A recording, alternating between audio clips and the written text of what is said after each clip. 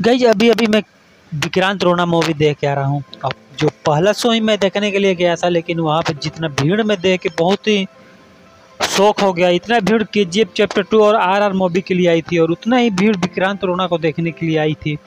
और इससे पहले बॉलीवुड की फ़िल्म सम्राट पृथ्वीराज और शमशेरा जैसी फ़िल्म बहुत ही बुरी तरह फ्लॉप हो गई।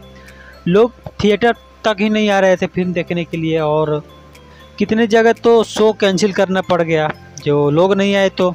और इसी बीच में जो ये विक्रांत रोना मूवी की देख के आ रहा हूँ, और मैं ये मूवी थ्री में देख के आ रहा हूँ। तो गाइज़ मैं बताना चाहूँगी क्या ही एक्शन है, क्या ही बे इफेक्ट्स है, क्या म्यूज़िक क्या बैकग्राउंड म्यूज़िक में, मैं बता नहीं सकता आप लोग को।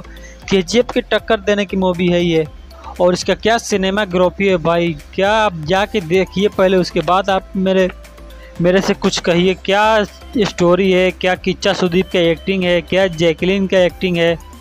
तो क्या ये मूवी का बहुत दिन से वेट हो रहा था पूरे इंडिया में, लेकिन फाइनली ये मूवी रिलीज़ हो चुकी है और रिलीज़ के पहले दिन ही बहुत ही सुपर हिट जा रही है।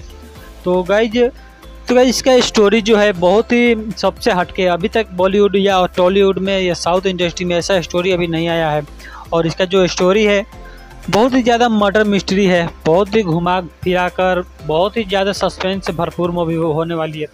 जो इसका फ़र्स्ट हाफ़ है, बहुत ही स्लो जाता है, लेकिन जब इसका इंटरवल के बाद जो स्टोरी इसका स्टार्ट होती है तो आप सोच में गुम हो जाएँगे कि ये क्या हो रहा है, कौन हीरो है, कौन विलन है, या कौन किधर क्या कर रहा है, कौन क्या कर रहा है।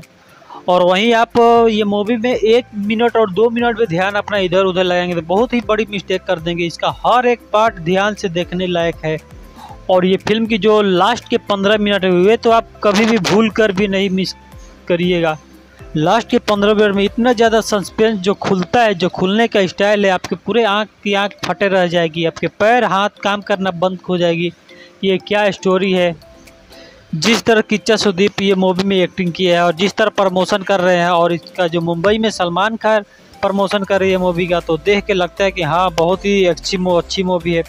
तो गाय जी क्या आप बताइए कमेंट में क्या ये के जी एफ़ मूवी और त्रिपल आर के रिकॉर्ड तोड़ने का दम रखती है? तो ऐसी आपको और जानकारी देखने को मिलेगी। चैनल को सब्सक्राइब कर लीजिए और वीडियो को लाइक कीजिएगा। तो मिलते हैं अगले वीडियो में। तब तक अपना ख्याल रखिए। Okay take care